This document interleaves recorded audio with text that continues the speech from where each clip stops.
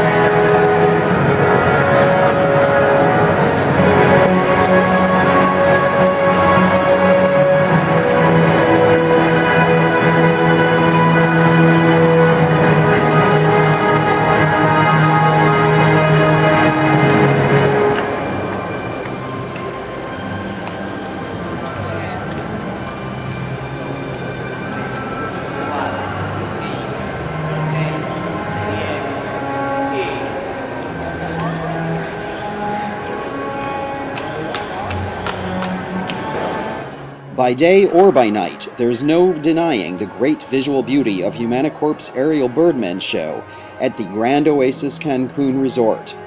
I'm Mark Chestnut. For more information about travel to Mexico, visit LatinFlyer.com.